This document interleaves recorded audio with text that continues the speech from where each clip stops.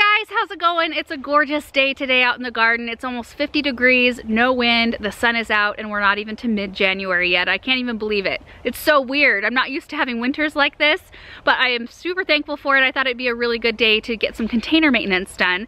And so I thought I'd just show you what I do um, at the beginning of a season with my containers, because depending on the material that they're made out of, I'll either repaint them, stain them, or give them a really good clean. So there are three groups of pots that I kind of want to get through. There's a really good chance I'm not gonna get it all done today. So you might see me in a second set of clothes toward the end of the video because I might be finishing it up tomorrow. But I want to um, clean up our Crescent Trudrop self-watering containers, a couple of our wicker look-alike pots, and then these window boxes on the house, I might be painting them black.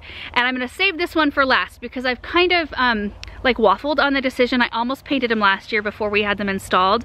Uh, and then I decided, you know what, it's easier just to keep them white for one season, see what I think, you know, live with it, see if I like it that way. And then I can always paint them black this year or, you know, in future years.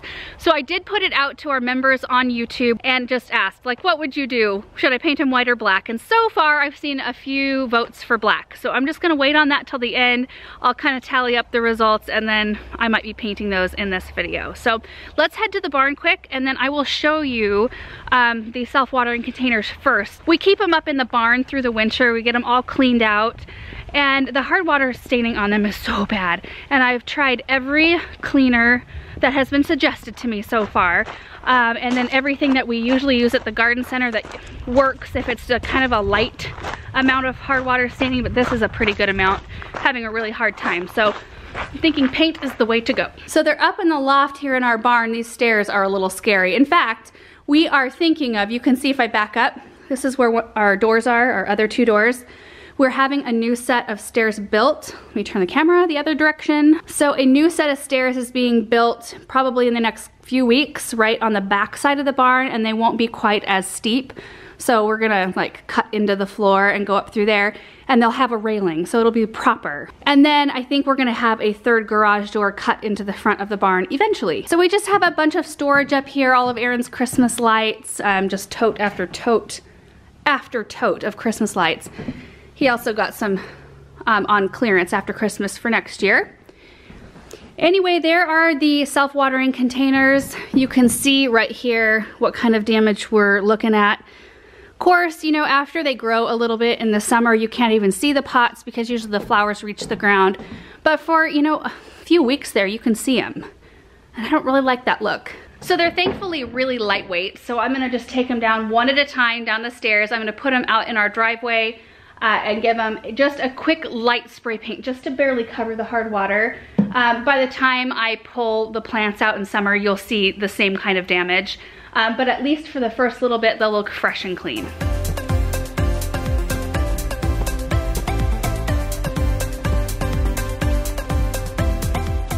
Guys, I've got all 14 of the pots down here, so I'm a little bit out of breath. I went up and down those stairs 14 times, and now I'm feeling quite warm. It's feeling warmer than 50 degrees out here today. Um, before I paint them, I am gonna brush them down a little bit because I did notice some dirt and spider egg sacs and stuff like that and uh, paint won't stick to those so I want them to be fairly clean before I do this and let me show you the paint I'm going to use. So I did load a basket up inside of all the supplies I was going to need. I've got a rag for the stain. This is the stain I'll use for the next set of pots. Um, I am going to be wearing gloves when I paint and stain today. And this is the paint that I chose. This is satin granite uh, paint and primer it uh, will adhere to plastic and that's kind of what these pots are made out of. I think that this will work out nicely. Let's check.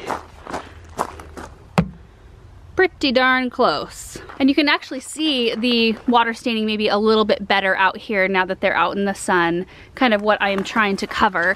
And see, there's like dirt and stuff, so I'll take care of that. And before I paint them, I do have to say that Crescent Garden, where these pots came from, and we have worked with them in the past, probably wouldn't recommend that you spray paint your pots. They probably would say to try to remove the hard water, which I've tried to do several times. It's just a lot of work with 14 big containers. And spray paint is what I do with my other pots. It works really well, makes makes them look good for the season. Anything that's not like metal or concrete, those I pretty much leave alone. And that's why I choose lighter colored concrete. You might notice that a lot of our statues and fountains are light colored um, because of our hard water. And if you do that, the hard water doesn't really show up if you choose those lighter colors and then you don't have to worry about doing stuff like this. Okay, so let's get going.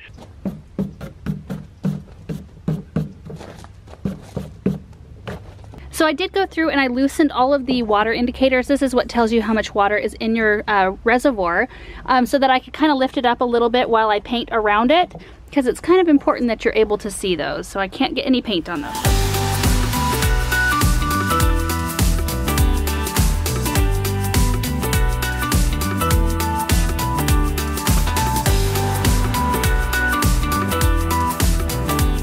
Here they are all done. They look so much better. And I'm sorry about the lighting, you guys. I know that they're like in sun and shade. I thought I was putting them in a spot that got more sun consistently throughout the afternoon.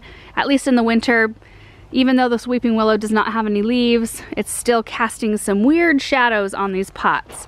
Um, but I am glad that I got a few extra cans of paint because I can let these dry and then I'm gonna come through and touch up any spots that I may have missed. But overall, even if I didn't touch anything up, they look 100 times better. So that didn't take near as long as I thought it was going to. It takes longer to get them up and down out of the barn, I think. So we're gonna go to where the wicker pots are. I've got all my supplies right here. First couple are right behind the gazebo. So here they are. This is where the pellet walkway is. Um, and then the pergola here, and it looks like I need to do some cleaning. Look at the concrete, what a mess. So you can see on the sides of the pot, it's starting to kind of like the finish is coming off a little bit. Um, I don't know how much of it's finished and how much of it's hard water. Um, but I'm gonna give these a good scrape down with my brush and then we will stain them so that they'll all look a little bit more like it looks right here. I think I want my kneeling pad for this part of the job. I should have used it on the last one. Oh well.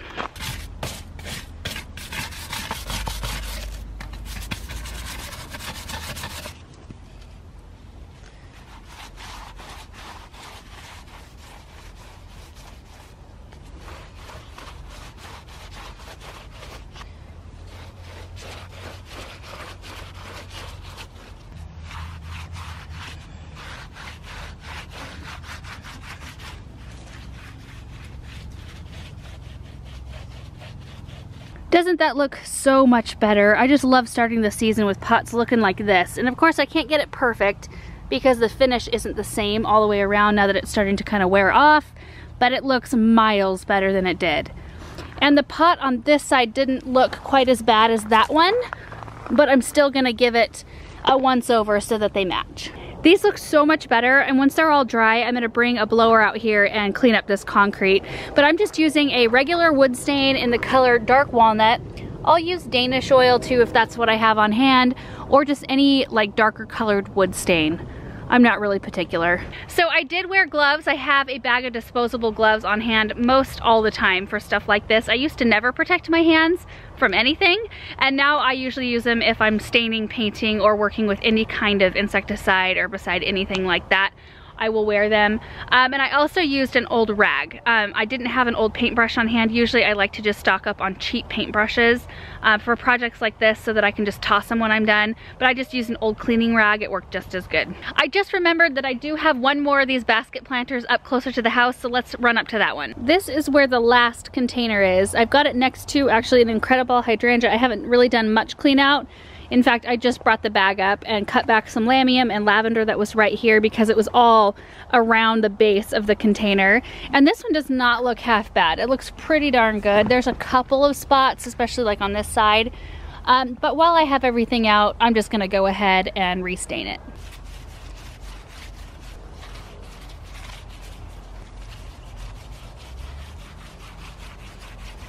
Pot is nice and fresh and it's just temporarily sitting in here just kind of as a space filler because I do have incredible hydrangeas. There's one right here and then there's four more that kind of create a hedge, a swooped hedge right behind these boxwoods right here.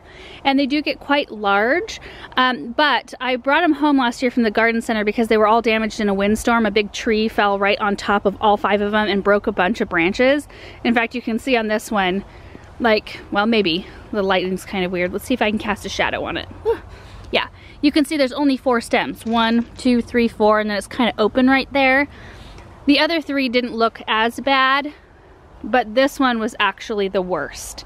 Um, so I put it here and then put the pot here just to kind of fill the space and distract distract your eye from looking at this one. And then I've got lavender in here as well. So I've got the three here that I cut back. They were just so intermixed with the lamium that was around the base of this pot. I just cut it all back. I just need to come in and rake now. And then the tater tot arborvitae and then the lavender takes off and goes down the whole walkway, which I'll wait till it warms up a little bit more to cut the lavender back. I am really looking forward to how this bed looks this year. I've got I think 600 white tulips in here. I actually see a couple of tulip bulbs on top of the soil, which means the squirrels have been in here. And that kind of worries me because I've seen that in quite a few of the areas that I planted bulbs and I'm just hoping that I have a few left after the winter. Um, but I've got another pot right here um, that's also full of clematis and it's got some other flowers in it and it could use a stain, a new fresh stain job as well. So I feel like that's how this day is going. I just keep seeing new things that need to be done. So I don't know if I'm actually gonna even get to the window boxes today, but I just checked YouTube and it looks like everybody is voting for black so far there are no votes for white. It's still scary to me. So there's the pot right there. It doesn't look too bad. A little bit of scuffing on the bottom, but I need to clean it out anyway because it's right by the door we enter all the time and it's looking so just yuck. Anyway, this whole area needs a good clean out. I haven't touched it since fall, but that part will wait for another day.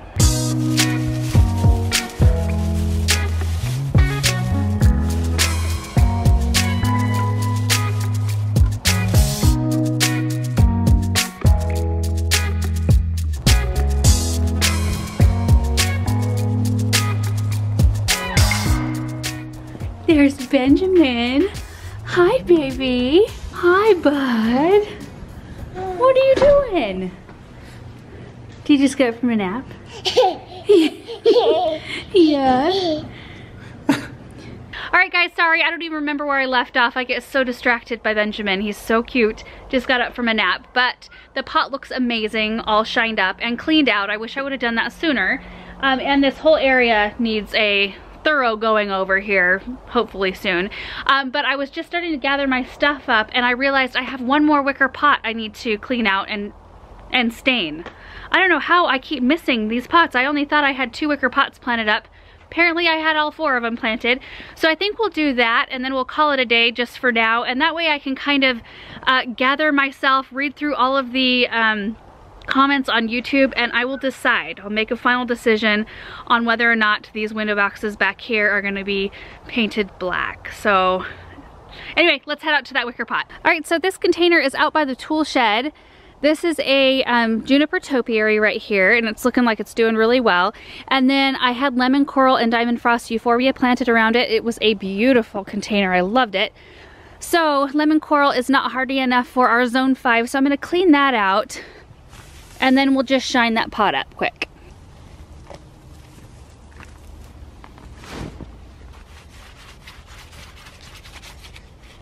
Alright guys, so that's it for this part of the video. I'm really thrilled with everything I was able to get done today. I mean, especially since it's so early in the year, that just means I'll have more time later on to enjoy the garden when things are usually nuts out here. So I will pick this video up hopefully tomorrow and we'll talk about what we're gonna do with the window boxes. All right guys, so fast forward about a month because that's how long it's been since I started this video. You know, life just kind of happened. We went on a couple trips. It's been really rainy, so I haven't really been able to, like there wasn't a good time to finish painting outside. You can see that the window baskets are still white on the house. Actually, let me go back toward those real quick. So I did put the question out to our members on YouTube whether or not I should paint the window boxes black or leave them white. Most all of you guys said I should paint them black, which I kind of agree with. I think black would look really nice, especially on this window because it doesn't have uh, shutters. The rest of them have black shutters, so the white doesn't look as like stark. It looks a little stark on this window to me. Um, but here's the deal, since I let so much time lapse between when I like was all gung-ho about painting them, I kind of lost a little bit of my bravery. And I just, I'm not a detail person when it comes to projects like that, so I know I would end up with paint runs or uneven like thickness of paint. So I think I'm gonna either do one of two things. I'm going to hire a professional to paint them for me, which is, we've got too many other projects going on this year, um, at this point anyway, Or um, I might go ahead and buy new window boxes eventually that maybe have a little bit more detail on them that are already black. And that way I don't have to deal with any touch-up painting or if I accidentally scratch it or something like that, I won't have to mess with you know, fixing it. Um, these, the reason why I went with these initially is because it was the only window box I could find that said that they were self-watering. And I was kind of hoping they'd work like the Crescent Gardens Trudrop containers work, but they don't quite do that. They might buy you a couple of days um, when it's cooler out, but in the heat of summer I was still watering them fairly consistently. Um, but anyway, that's why I went with those to begin with. So for now, they're going to remain white. I still think that they look nice and I love having them on the house. So basically today I got more paint and we're gonna put a second coat on the self-watering containers out here. And Aaron said he was gonna come out here and help me with that. It's a beautiful day today. It's like 51 degrees, sunny, no wind. It's perfection.